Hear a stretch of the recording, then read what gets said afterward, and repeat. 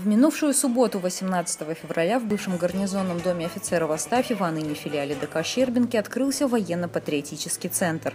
Работа центра будет влиять на новое поколение и поможет воспитать патриотически ориентированную молодежь. Так считает администрация городского округа.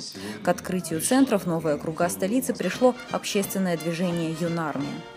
Торжественная церемония открытия патриотического центра началась с клятвы. Щербинские мальчишки и девчонки вступили в ряды юнармии, а шефство над ними обязались взять военнослужащие Москвы. Концертную программу открыло лазерное шоу. На площадке перед патриотическим центром прошли показательные выступления войск Нацгвардии. Здесь же прошла экспозиция военной экипировки и вооружения. Строгое правило – экспонаты руками трогать. Ремонтные работы прошли внутри здания. Теперь в помещении тира любой желающий может стрелять из пневматического оружия и винтовки, попробовать себя в метании ножей, стрельбе из лука и арбалета. Помимо этого полностью готовы тренажерный и спортивные залы, а также залы для бильярда и настольного тенниса. В центре расположатся кружки по авиамоделированию и робототехнике. Торжественное открытие центра завершилось выступлением ансамбля «Доми Соль» городского округа Щербинка с программой военных песен.